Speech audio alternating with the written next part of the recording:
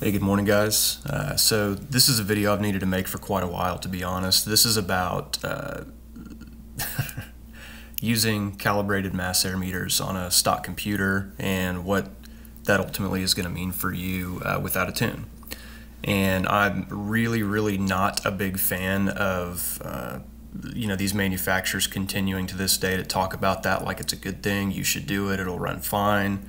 And encouraging people to do this because it it can work okay when you're going just a little bit bigger than stock. It's not too big of a deal, uh, but sometimes it, it can really be off by a lot. So today we're going to kind of talk about the specifics of what a calibrated mass air meter is and why without a custom tune it's not necessarily going to give you good results. And this is a direct response to uh, the, the, post I've got pulled up here from Zach uh, out in Hawaii. So basically says that you know he's getting ready to uh, put a blower on the car and uh, but right now it's a relatively stock engine.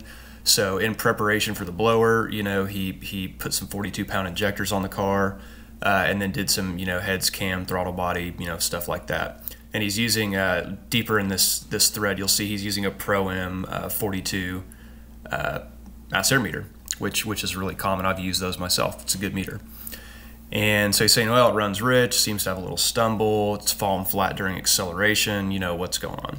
So we're going to talk about that.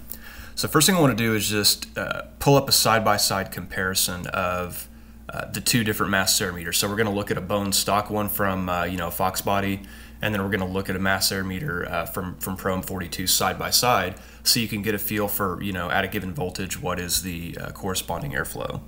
So to do that, we're just going to jump in here to EEC Analyzer, and I've got them pulled up side by side. So basically, you know, the, the way the mass air meter works is as the, uh, the sensor detects an increased airflow, the voltage goes up. And at a given voltage, uh, there is an appropriate amount of airflow. In this case, this is measured in kilograms per hour. So this first set right here on the left, this is a stock meter. So you'll notice it kind of pegs up here at about 850 kilograms per hour. And it works its way up. You look on the right side, this is your, your Pro M42.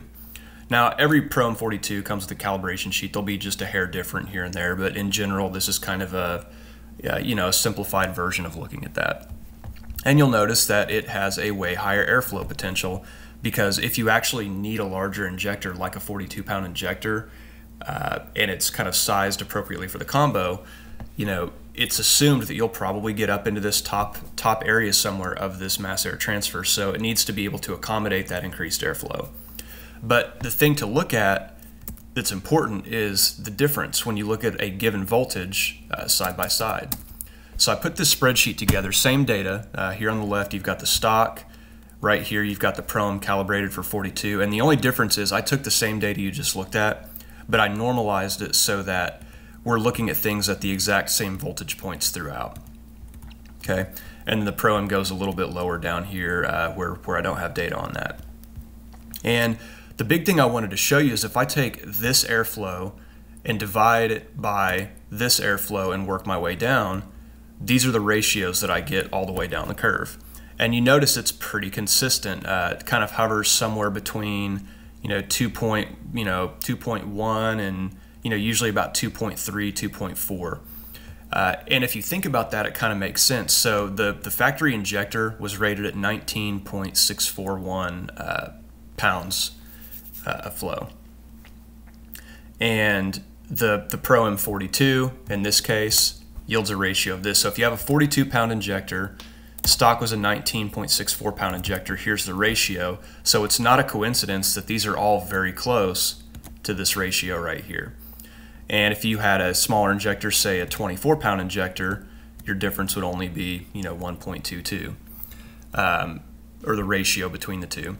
So what you're basically trying to do is this is a way to to fool the system to try to get the same result. Now going back to this, I want to show you something on the chart. So the red line is your Pro M42, your green line is the stock. Now what I'm going to do is I'm going to take all of these these flow numbers on the Pro M and I'm going to divide them by this ratio right here.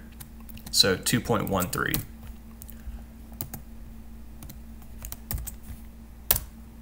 Okay. Uh, and then I'm going to refresh the chart here. And notice that when you set these two curves on, on top of each other, they're virtually identical. You know, this one has a little bit more peak up here, so don't worry about that. But as far as the actual curve, these lines are very, very close to overlapping all the way through.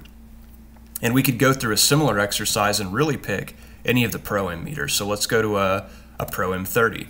Okay, so side by side, you can see the Pro M30 goes quite a bit higher. But if we take the same ratio we calculate this way, take all these airflow numbers and divide that,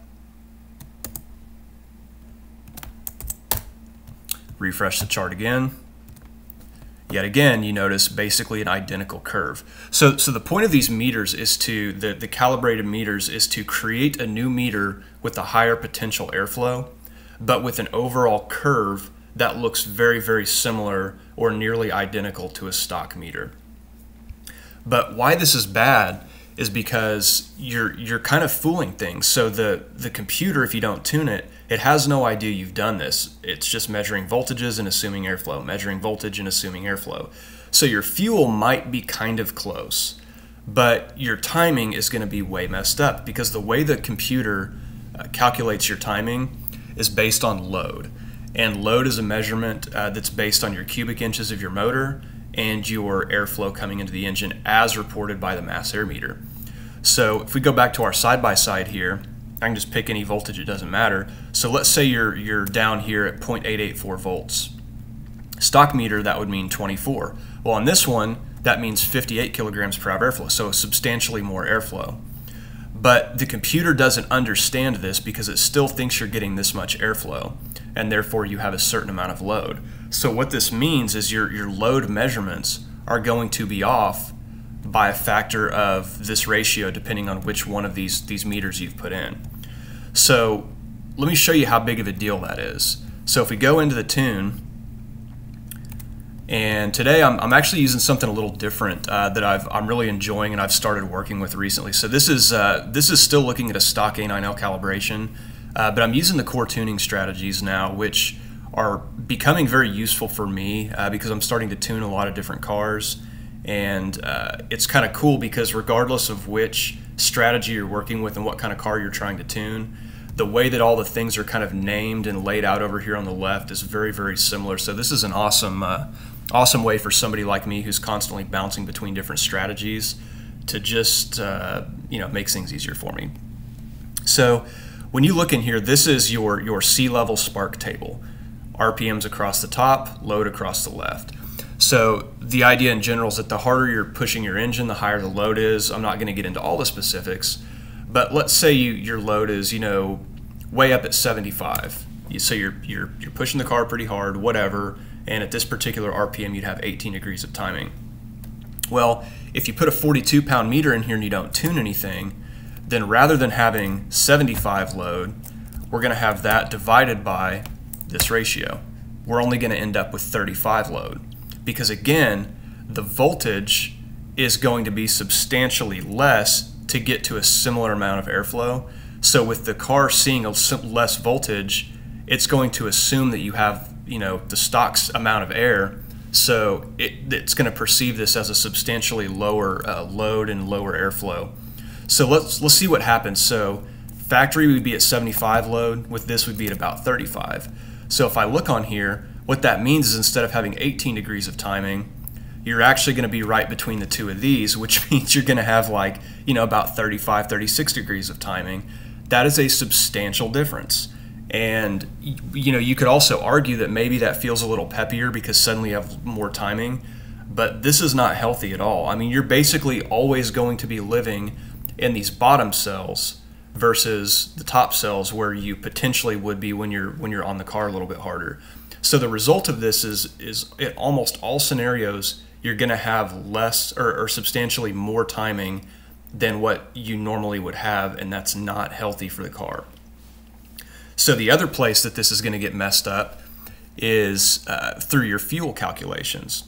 And so from, from a fuel standpoint, when you look at your, your open loop table, this is also loosely based on load. It's technically something called per load. We can get into that in another video, but it's it's similar to load, and the effect of, of this calibrated meter is going to be the same. whatever load you would normally be at. So if you were wide open throttle, you'd be you know up in this top row, and this is the commanded air to fuel ratio. So cool. But the problem is if instead of being at in 90 per load, so we'll run the math on that. So equals that divided by our same ratio. So instead of 90 per load, we'd be at about 42 per load. And at 42 per load at wide open throttle, instead of being at a richer air to fuel ratio where you need to be safe, guess what? You're going to be running basically at stoich. So you're going to run super lean. You're going to run with a lot more timing. And guess what? That that's a recipe for blowing head gaskets and screwing up your engine. So you know, this is a big gap. I mean, going from a 19 pound setup to a 42 pound, that's not a small change. Uh, it's necessary for a blower. In fact, you might even want to go bigger, to be honest. I don't know what heads cam intake you have, uh, but you might even need to go bigger than that. But 42 pound might get you by.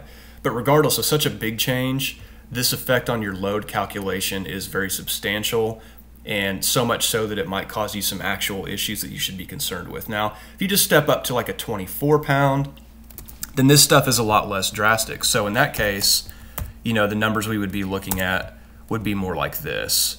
So, you know, uh, not not as critical, but instead of 75 load, we'd be at 60, and instead of 90 per load, we'd be at 75. So going from 90 to 75, that's not likely to blow your engine up. And in fact, the, the stock computer runs honestly richer than you probably would want to. At wide open throttle for a, a naturally aspirated combo. This this might conveniently for a 24 pound setup put you better kind of closer in this range where you'd want to be. Uh, put you in the high 12s afr it'd probably run a little bit a uh, little bit better there. But going back to the spark table you know we would still have to be a little bit more concerned there. So if we were only at you know 60 load then you know we'd be down here when we should be here and you get the idea you can work your way through the table so this is this is really the big concern is load calculations cannot be corrected ever with a calibrated MAF. You must change the tune to tell it what the actual airflow values are for your actual voltage so that it can perform the load calculations correctly. Otherwise your spark's off, your fuel's off. Now, I'm going to throw in one more thing just because of how big of a jump you're making here to these 42 pounds or 60s or whatever. Um, there's one other consideration that this might screw you up. So in the tunes, there is a setting that determines what's a minimum acceptable voltage coming through that mass air meter because ultimately if you're barely getting any voltage reading on that it's assumed that the mass air sensor has failed uh, which is common uh, that can happen. But there's a there's a threshold point where you say well what is that voltage where if i'm reading less than this it's bad and if i'm above it it must be operating okay? And uh, that's that's controlled here in your tune so right here this value is the minimum voltage this will recognize before failing the MAF. It's at 0.37 volts. Now, on, on a stock setup, 0.37 volts is, I mean, that's super, super low. So from a flow standpoint, you know, you're, you're basically as low as it can read at that point, which is probably going to be right here around, uh, you know, 12 or 13 kilograms per hour. And something I wanted to show you is I actually have a good log from something that's a personal car of mine that at the time this log was taken, it was a bone stock engine. I'm talking pan to throttle body, stock MAF, stock injectors, I mean bone stock. And I was just kind of getting everything hooked up with the QuarterHorse and some other things before I started making changes for boost. And so at idle, what you'll see here is we're kind of in this range right here. So this was coming from a stop, it kind of coasted down, and then right in here, this is a true warm idle. And if you look at my, my voltage, it's idling at about 0.92, 0.91, 0.93 volts. And from an airflow perspective, it's at about 25 kilograms per hour. So that's at warm idle. If, if we go back to our, our data here, 25 kilograms flow, that right there, you're kind of seeing around 0.9 volts. Cool. So with this meter, where am I going to be to get the same amount of airflow with the 42 pound? Well, I would actually be hovering somewhere between here and here. 25 is kind of right between 20 and 30. So from a voltage standpoint, I'm probably hovering somewhere around point, you know, 0.4 volts.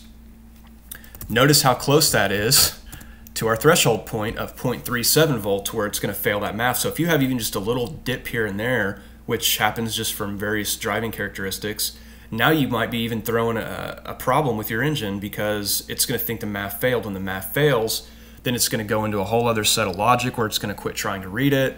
It's going to jump over and just try to make decisions based on the throttle position sensor. And uh, again, it's it's just not going to run its best, and it certainly is not going to be healthy at wide open throttle. So these are some really legitimate concerns. Uh, you know, when you're when you're thinking about using a calibrated MAF and why you may not want to do that. So, guys, if you have any more questions, uh, just let me know on this. But these are kind of the basics of why you will need a tune, uh, regardless of if you have a perfect match between you know your your injector size and your calibrated MAF. So, appreciate it again. Good luck. Godspeed.